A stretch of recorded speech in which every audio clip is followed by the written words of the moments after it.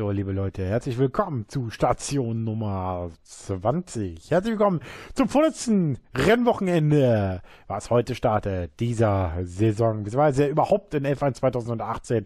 Herzlich willkommen in Interlagos, Sao Paulo, Brasilien. Eines der durchaus spektakulärsten und interessantesten Grand Prix steht uns jetzt ins Haus. Wir fangen heute an am Freitag mit diesem, mit dem freien Training, natürlich wie immer. Wie gesagt, das wird überhaupt das, auch das letzte, vorletzte freie Training für Red Bull werden weil ich dann quasi, wie gesagt, platonisch zu Williams wechseln werde, weil wir damit, okay, weil wir damit dann auch in der Fall 2018 anfangen werden, äh, 2019 anfangen werden, so rum ist es richtig. So, wir gucken mal rein ins Wetter. Oh, Qualify und Rennen trocken. Das ist super. Das ist auch so selten in Brasilien, weil äh, wer die letzten Jahre so ein bisschen verfolgt hat, der weiß, Brasilien war immer für Monsunregen gut. Ja, bekannteste war, glaube ich, 2006, als Gian Giancarlo Fisichella im Jordan damals diesen einen absolut spektakulären Grand Prix mit Rennerbruch ETC gewann. Oder 2005 der schwere Unfall von Fernando Alonso, als er über den auf der Strecke liegenden Reifen von Mark Webber ähm, fuhr. Also da sind durchaus einige Rennen. Auch Nico Hülkenberg, der am verregneten Qualifying mal auf Pole fuhr, der leider am Rennen, glaube ich, nur Neunter wurde in Williams. Ja, ähm, wir haben noch ein bisschen äh, was zu tun. Es gibt auf jeden Fall noch eine Entscheidung zu treffen. Ähm, die ist auf jeden Fall ganz, ganz wichtig. So, wenn ich jetzt nochmal Motor reinpacke, Nummer 6 wahrscheinlich dann. Die Frage ist, wie viele Plätze kriegen wir? Es geht wie gesagt immer noch um die mehr, aber gerade in Brasilien könnte ich doch, gibt es natürlich eine Möglichkeit.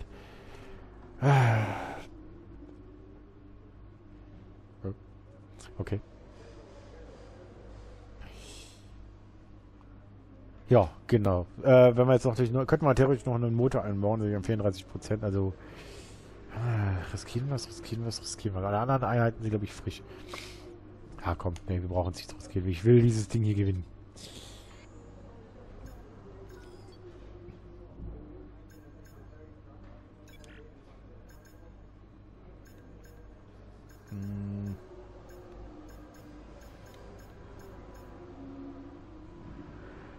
Was hältst du hiervon?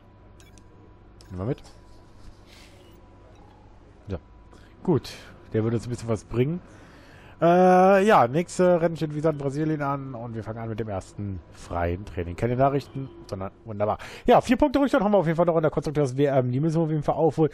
Das würde wird bedeuten, selbst wenn wir gewinnen, hier mit 1 und 2 und Ferrari beide Autos in den Sand setzt, heißt das immer noch nicht, dass wir Konstellationsweltmeister sind. Das wird, egal bei welcher Konstellation, spätestens, äh, also frühestens, ja, doch, überhaupt im letzten Rennen in Abu Dhabi passieren. Da wird es Entscheidung definitiv Mogia geben. in Sao Paulo. An diesem Wochenende sind wir für Sie auf dem Autodromo José Carlos Pace beim Großen Preis von Brasilien. Die Kurven 1, 2 und 3, das weltberühmte Senna S, sind eine Abfolge enger Links-Rechts-Links-Kurven, die besonders schwierig zu meistern sind. Der erste Linksknick geht außerdem noch bergab und sorgt für starkes Untersteuern. Darauf folgt eine schnelle Rechts-Links-Kombination durch die Curva do Sol, die schlussendlich auf der Gegengeraden der Reta Oposta endet. Als 1990 die Formel 1 nach Interlagos zurückkehrte, wurde diese Kurve hinzugefügt. Es ist daher nur allzu passend, dass eine der besten Kurven im Formel 1-Kalender den Namen eines der größten Fahrer Ayrton Senna trägt. Geht man diesen Bereich falsch an, wird man womöglich überholt, wenn man Kurve 3 in Richtung der Geraden verlässt. So ist das. So, ähm... Ja, wir gucken überhaupt mal aufs Wetter. Vor allem was die Trainingszeiten, äh, was das Training betrifft. Erste Training trocken, zweite Training trocken, dritte Training trocken, Qualifying trocken und das Rennen trocken. Also, wir haben ein komplett trockenes, was sehr, sehr selten ist in Brasilien. Trockenes Wochenende für uns. Komplett trockenes Wochenende für uns. Gut, dann können wir also das Brasilien Trockensetter benutzen. Zack. We have a number of programs to run during these practice sessions. You can check the details in the car monitor. We'll get good data for both the race and factory teams, so they're well worth running. Ja. Gut, dann gehen wir mal auf die Strecke. Fahren wir mal ein bisschen. Die Strecke ist relativ kurz, deswegen können wir auch ähnlich wie in Mexiko ein bisschen fahren. Wobei die Strecke in Brasilien so circa, ja, 10 Sekunden kürzer ist. Was von der Rundenzeit her. Mexiko war mal bei 19 als 18. Ja, ich habe als 15 hatten wir. 15-0 hatten wir im Qualifying, als die Polzeit gebracht. Hier sind wir wahrscheinlich um 1,8, 1,9er Zeiten. Also wir sind definitiv nicht sicher. Die Strecke ist nämlich relativ kurz. Also wir werden nicht Rundzeit. Ich glaube irgendwas mit 20 Runden. Ja, schaffen wir es auf, äh, schaffen wir es. Es gibt nur eine Möglichkeit, dass das, äh, das ist, ähm, dass es hier eine Entscheidung um die Konstrukteurswärme gibt. Die wäre höchstens pro Ferrari. Folgende Konstellation wäre das. Wir, sowohl wir als auch Max Verstappen werden keine, holen keine Punkte und Ferrari wird erster und äh, ja, höchstens Dritter. Also 1 und 3 und wir dürften keine Punkte holen. Dann wäre der Titel klar, dann hätte Ferrari nämlich äh, würde Ferrari 40 Punkte holen, plus die 4 wären 44 Punkte und wären das mit einem Doppelsieg und einem Totalausfall für Ferrari im letzten Rennen nicht mehr von P1 zu verdrängen. Das ist die einzige Rechnung, die gehen würde. Also 1 und 2 oder 1 und 3, wir dürften keine Punkte holen. Ja, das wollen wir aber verhindern auf jeden Fall. Wie gesagt, der Titel soll zu uns äh, gehen. Wir wollen also Ferrari diesen Titel entreißen, den wir letztes Jahr in Mexiko klar gemacht haben, in der ersten Saison. Aber jetzt wollen wir erstmal uns darauf konzentrieren, hier ein relativ gutes Wochenende zu machen. Oder ein gutes, einen guten Eindruck, um die Trainingszeit zu machen. So, wir sind Bestzeit momentan im letzten Sektor, ungefähr eine knappe 700 etwas mehr, fast 800 vor Charlie Claire, wobei ich mir, äh, anmerke, dass Leclerc wahrscheinlich kein Problem sein dürfte, den zu verdrängen. So, als 13.200 Bestzeit. Aber das ist klar, das ist definitiv ja, ich sage, die Rundenzeiten sind kürzer. Also ich denke mal, so als 8er, 9er Zeiten können wir hinbekommen. Da müssen wir irgendwann ein bisschen zulegen. Aber wir fahren ja auch mit der allerhärtesten Mischung gerade.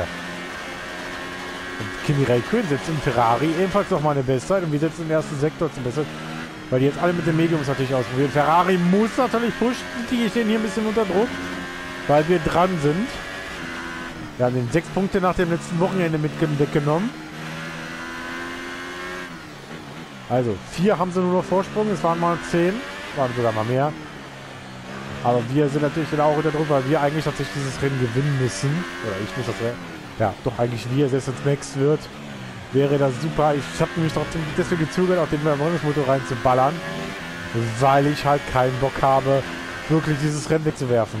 Ich hätte das getan, wenn, wir wenn, wir, wenn die WM schon entschieden worden wäre. Ja, wir, wie gesagt, wir sind im ersten freien Training hier an diesem Freitag zu Gast. Das vorletzte Rennwochenende steht auf jeden Fall an. Und wir haben ein 12-3 gesetzt mit der Runde. Ja, die 1-9 werden wir wahrscheinlich erst dann packen, wenn wir wirklich die weicheste Mischung geholt haben. Ja, klar, wir sammeln jetzt Zeiten ohne Ende. Wir fahren sogar auf dem Standardgemisch, also momentan die Bestzeiten. Ist ja passiert, die Medien funktionieren jetzt gerade komplett.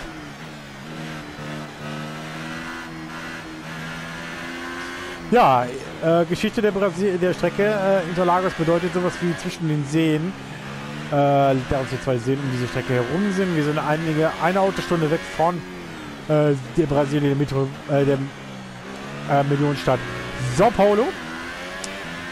Äh, genau, diese Kriminalität ist äußerst hoch. Also es wird tatsächlich den Teams empfohlen, nicht in offiziellen Klamotten rumzulaufen. Glaube ich vor ein paar Jahren oder letztes Jahr oder vorletztes Jahr es sind, glaube ich, sauber Mitarbeiter überfallen worden. Also da sollte man sich nicht, nicht als auch als Tourist, wenn man nach Brasilien fährt, äh, sollte man nicht unbedingt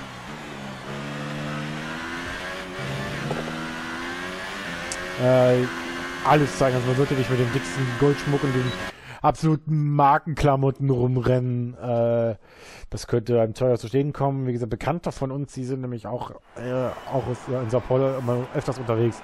Auch die jetzt damals schon getroffen. Ja, Polizei macht nicht viel, weil sie selber Angst haben weil hier fast alles bewaffnet ist und alles drum und dran. Also nicht fast alles, sondern gerade was die armen Gebiete betrifft. Also es gibt in Brasilien, gerade in den Favelas, gibt es sehr viel. Ähm, ja. Our best lap so far is a 1 minute 11.6. So, wir sind eine Sekunde vom Max Verstappen auf jeden Fall. Das ist schon mal gut für das erste freie Training. Das war es dann auch schon wieder.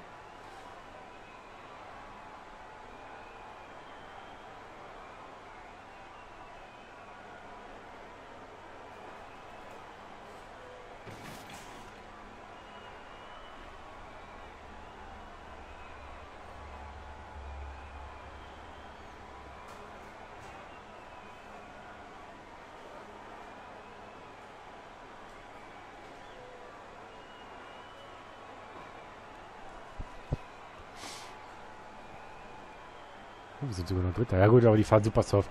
Nochmal. Ein interessantes Training. Schauen wir uns noch einmal die Top 3 an. Vettel, Bottas und Richter.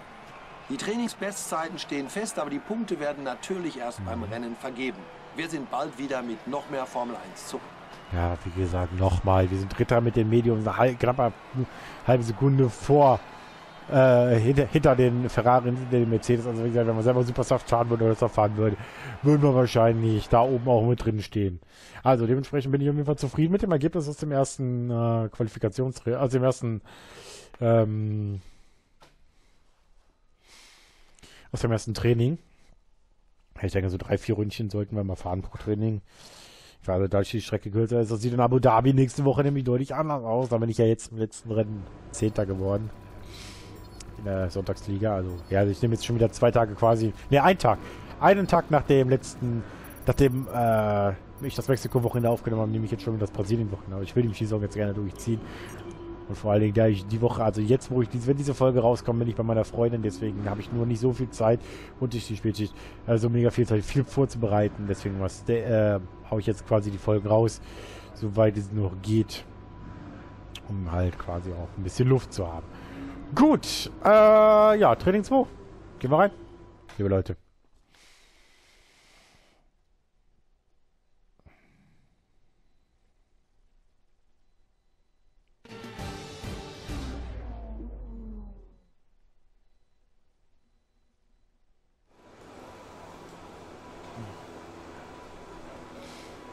So, da sind wir wieder am Start im Training 2. Wie gesagt, das Brasilien-Wochenende wird komplett trocken werden. Das ist auch sehr, sehr selten. Wobei, ich glaube, das Wetterbericht, der kann auch, durch mal, äh, durchaus mal ein bisschen äh, verrückt spielen. Aber freue ich mich. Definitiv, dass es durchaus trocken ist. Das kann, bringt uns auf jeden Fall tatsächlich ein bisschen ähm, ein bisschen mehr in die Favoritenposition. Wir müssen ja. Wir müssen im Idealfall holen wir hier einen Doppelsieg. So. Äh, ja, ja, ja, kleiner Verbremser in Senna ist. Einer der berühmtesten Formel-1-Fahrer. Leider viel zu früh verstorben am 1. April 1994 in Imola. Aber und vergessen natürlich auch, das vergessen sehr viele, ein Tag zuvor am Qualifying ist Roland Ratzenberger gestorben. Rest in Peace auf jeden Fall, auf jeden Fall von mir. Und eine weitere traurige Nachricht äh, kam Anfang der letzten Woche. Neben dem Fußballer Manfred Burgsmüller starb auch der langjährige Mercedes-Teamchef Niki Lauda ne, im Alter von 70 Jahren. Auch da natürlich mein herzliches Beileid mir das vorstellen kann, dass in Monaco, also wenn die Folge rauskommt, ist das Rennen natürlich schon durch. Auf jeden Fall dicke Trauerflora an einigen Teams, nicht nur beim Mercedes-Team, angebracht wird. So, Magnussen mit einer 13,9. Gehen wir mal wieder so ein bisschen erfreulicher. Wir wollen natürlich unsere Zeit setzen. Aber als 11,8 Da sind wir deutlich besser durchgekommen. Das ist sehr nice. Wir brauchten auf jeden Fall eine Runde. Mit den Soft-Reifen. Sind wir jetzt unterwegs. Wir wollen natürlich eine Bestzeit setzen. Erste Sektor ist schon mal wieder violett. Aber das hat man mit den Mediums auch drei Runden lang.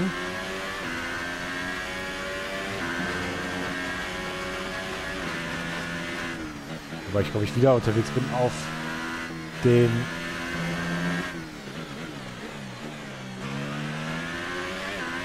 Standard gemischt. Das machen wir jetzt auch wieder hoch. Jetzt brauchen wir noch einen Versuch auf jeden Fall, oben eine halbe annehmbare Zeit zu fahren. Vielleicht schaffen wir sogar eine 1.10er oder eine 1.9er Zeit. Das wäre natürlich ideal, wenn wir unter 1.10 bleiben würden. Sebastian Vettel fährt die 1.11.5, aber die werden wir auf jeden Fall jetzt gleich knacken.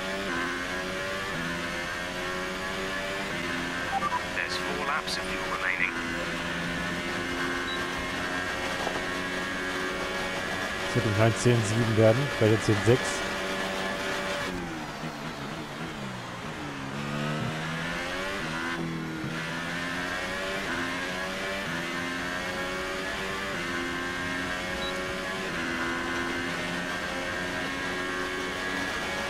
eine gute Sekunde vor dem Ferrari. Äh, was mir jetzt halbe so rum ist, ist der, der, der gefahren 1.11.3 oder so.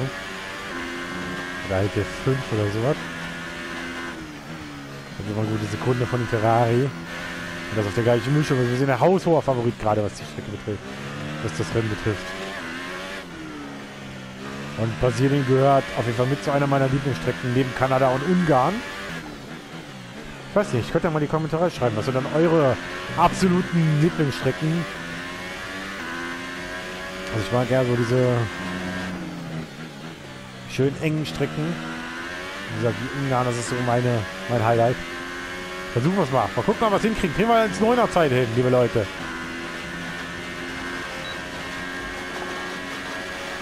Ah, da fehlt uns ein bisschen was. Minimal 1.10.047. Wie gesagt, das geht schnell mit den drei Runden.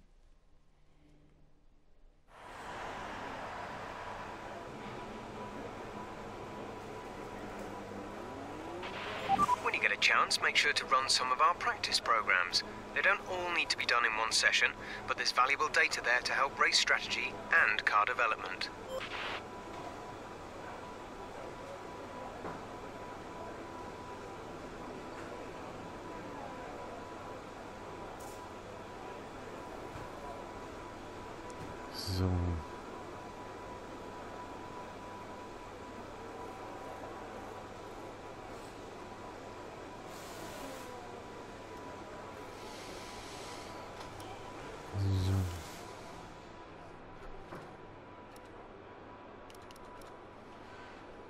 Ja, Eineinhalb Sekunden sind wir vor dem Ferrari. Also wir sind auf jeden Fall klar da auf, klar auf Kurs, liebe Leute. Oh, Hartley auf 4 auf den Soft. Jetzt Perez, Hamilton rutscht rein, also ja, ist, wenn Verstappen, ich weiß nicht, wo der momentan rumkrebst. Der wird wahrscheinlich irgendwo, boah, das wäre letzter. Ne, ist er nicht. Da hängt momentan Grosjean. Verstappen ist auf 7. Ja, ich hoffe, dass beim Red Bull nochmal ein bisschen was kommt. Auf 8 sogar jetzt mittlerweile.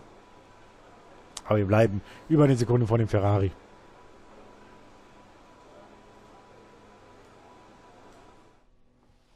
Ein schneller Blick auf die Reihenfolge am Ende dieses Trainings. Hier sind die Top 3. Richter, Vettel und Lewis Hamilton. Das war's dann mit dem Training. Wir sehen uns bald wieder.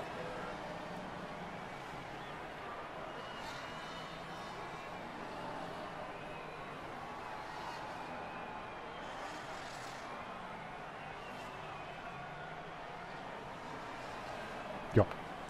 Zweite Freitraining durch.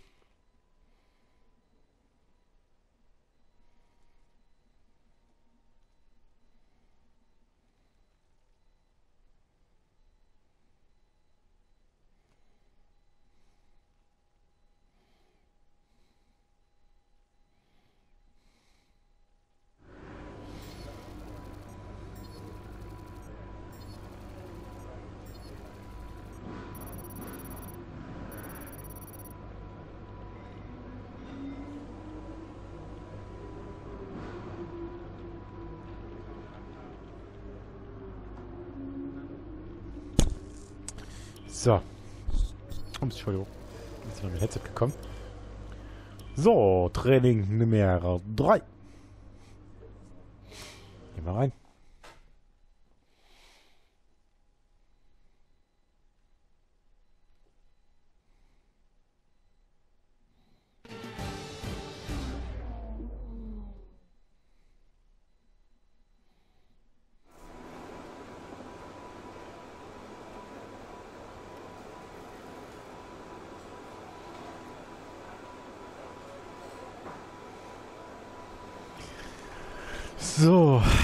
Genau. Wir gehen auf die Super Soft.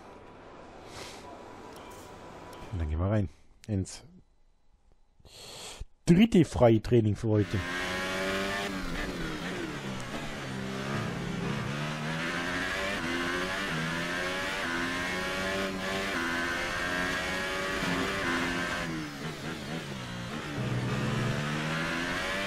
So, diesmal wieder der Vergan auf das Fett gemischt.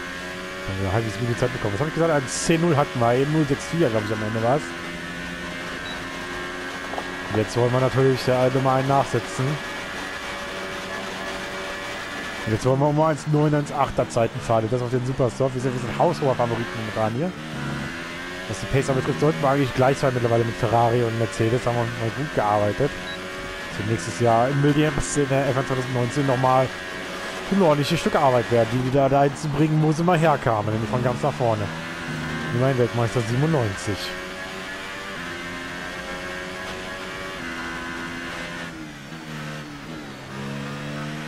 Und mittlerweile ist es traurig, was da so einem Team mittlerweile geworden ist. Deswegen wollen wir da auf jeden Fall hin.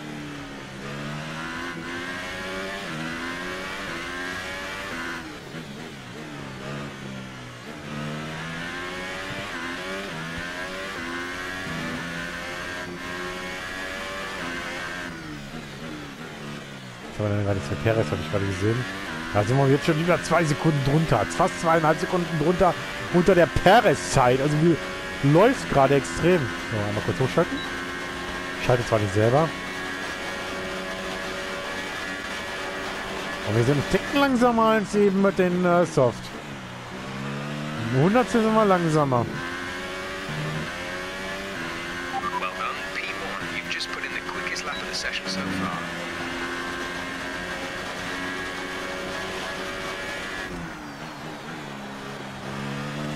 Konzentriere mich gerade mal so ein bisschen, weil die Zeiten auf jeden Fall sehr knapp sind. Der wird wohl Dr. Tun sehr gut geschaffen zu sein für diese Strecke hier. Das hat Verstappen in den letzten Jahren auch eindrucksvoll gezeigt. Im letzten Jahr nur von Esteban Ocon daran gehen hat, hier das Ding zu holen. Und er hat es klar verdient gewonnen. Er hätte es verdient gewonnen, so rum. Und vergessen natürlich der kleine ja, die kleine Diskussion nach dem Rennen zwischen Verstappen und Ocon.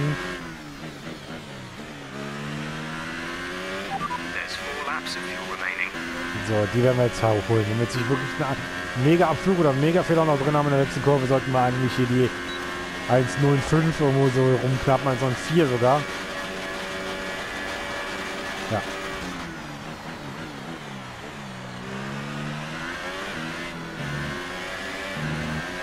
Einer aus der Box gerade. Ich habe da so ein Bild für das ist ein Ferrari übrigens. Es ist Sebastian Vettel. Der jetzt natürlich uns... Na, nicht behindern wird er uns nicht. Nee.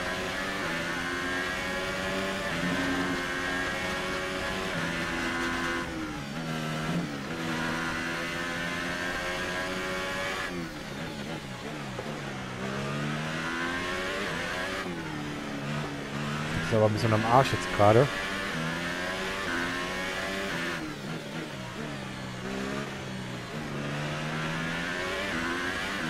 Ah, die Runde wird nicht gut. Die wird weiter nicht reichen. Ah, die Soft... Wobei ich wenig ich bin, kann man fast sogar auf die Soft gehen. Mal gucken, was vielleicht im, Qual was im Qualifying morgen dann passiert. Also nicht gleich, heute morgen.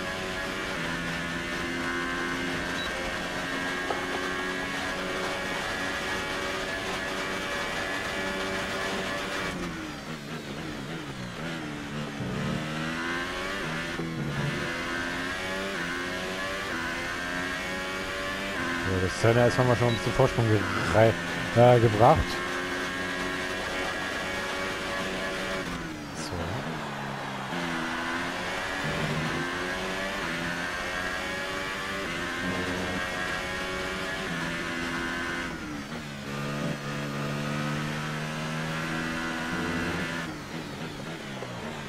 Ja, das wird zu die Runde ist durch.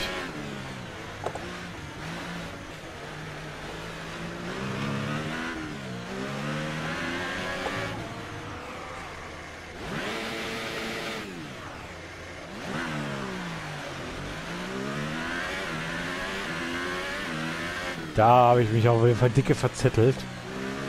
Gut, dass das hoffentlich eine Ausnahme bleibt.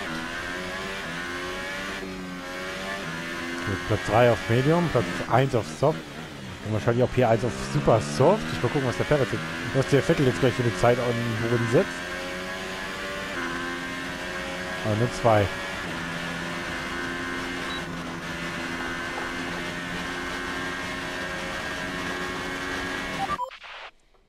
die runde Reifen kannst du wahrscheinlich dann auch nicht mehr gebrauchen. Nachdem die so durch sind.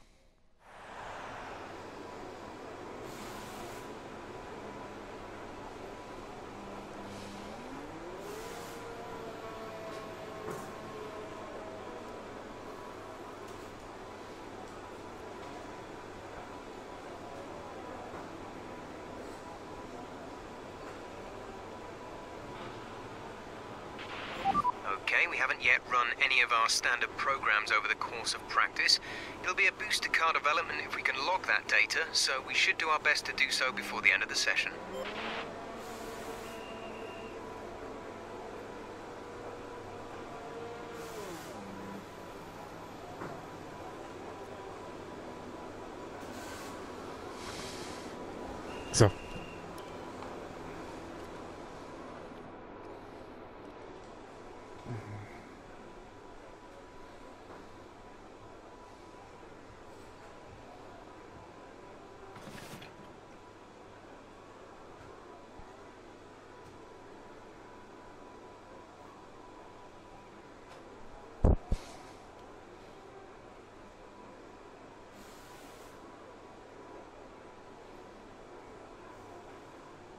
Sind wir auch durch mit dem freien Training. Ja, sieht gut aus. 1,6 Sekunden auf den Soft, auf den Supersoft vor Vettel. Das ist definitiv mal eine Ansage für diese Woche. Das ist ja Röttgen auf der 10. Also sieht momentan gut aus. Hartley da Alle oben mit Autos drin. sind über die Ziellinie und die Top 3 stehen nun fest. Richter, Vettel und Valtteri Bottas. Danke, dass Sie heute beim freien Training dabei waren. Wir sind in Kürze mit noch mehr Formel 1 zurück.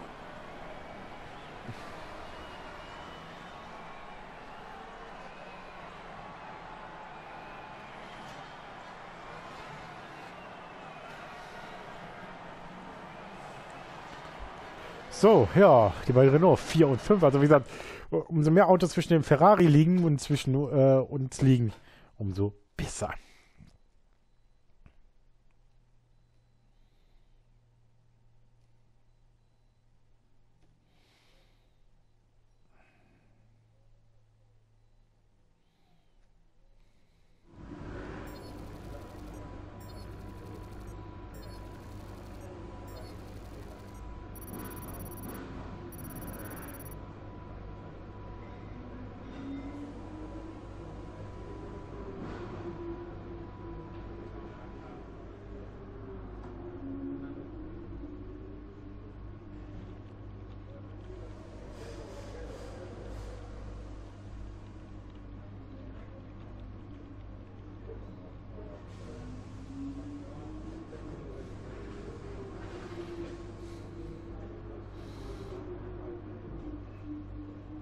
Gut.